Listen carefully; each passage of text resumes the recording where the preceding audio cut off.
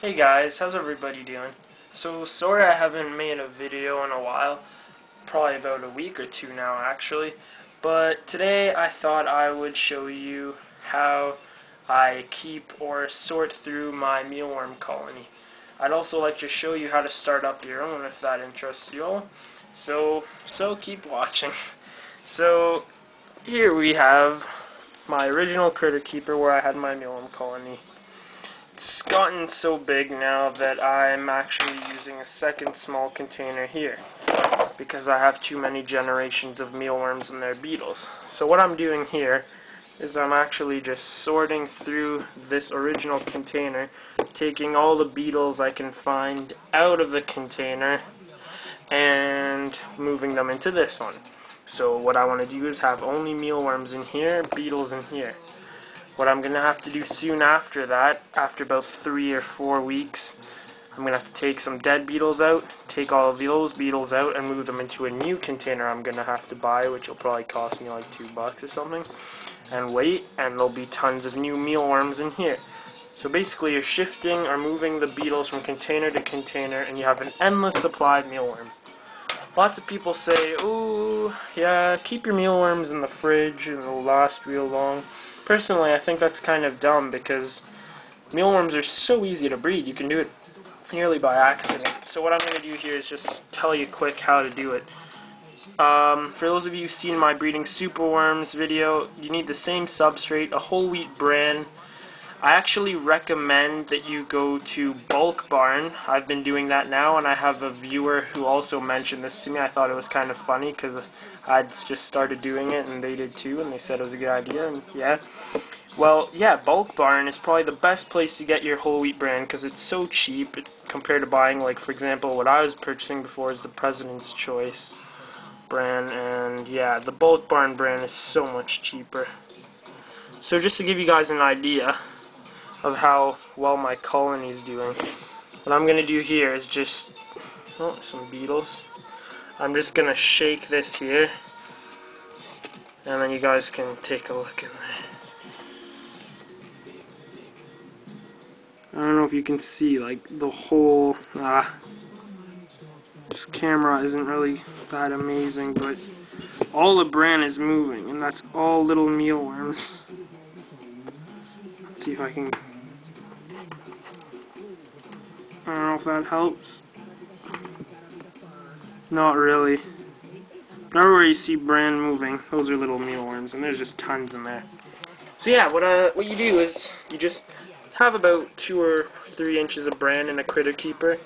Put some wood in. This is pointless, but I just threw it in there. This is a good piece. I put wood. Some people use egg cartons.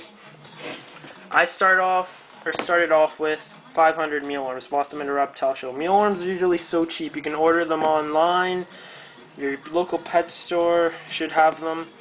Not just very easy to find. So just get uh, as many mealworms as you can. Start off with. Just keep them the way you keep supers. Throw in some lettuce. It's probably the best thing you can use because if they don't eat it, it dries out, doesn't mold. Carrots alright too. I avoid some people use orange. I avoid that because it molds. Uh, potatoes sometimes molds.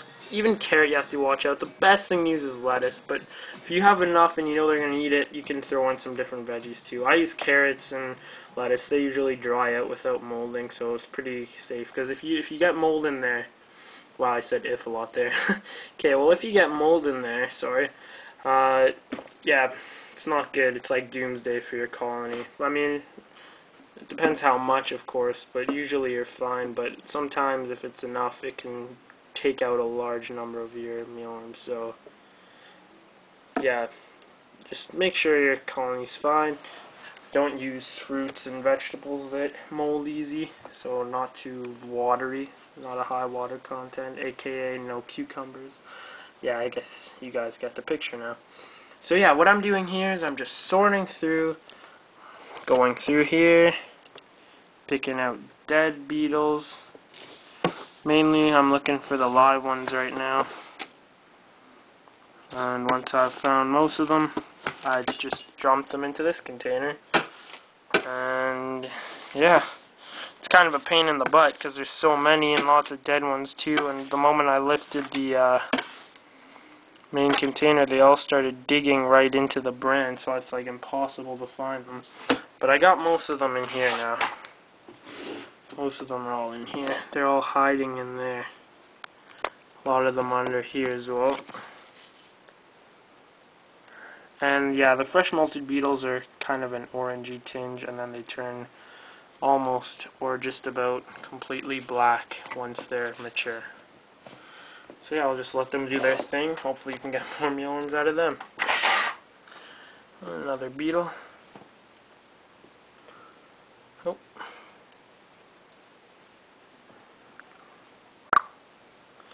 So yeah. Well, thanks for watching guys. Hope this video came in handy a bit. It was a bit confusing, but hope it was alright, not too bad. Um, if you guys have any questions, as always, feel free to ask.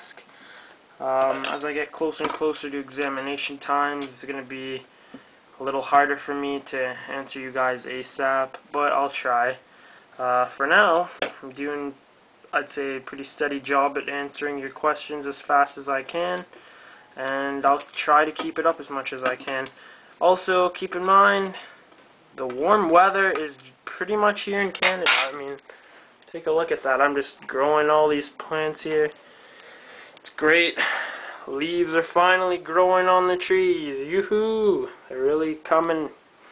So, you know what that means. Herp season, herping season. Looking for reptiles, not herpes obviously. herping season is starting, man. Ladies and gentlemen, we're going to be going out there and looking for frogs, turtles, you name it, snakes. So get ready for that. Hopefully a few of my buddies and I will be going out there. So yeah, if you guys like watching videos of people trying to find reptiles, then keep up to date because coming your way. Alright guys, thanks for watching. Hope you enjoyed. See you soon. Talk to you later. Bye.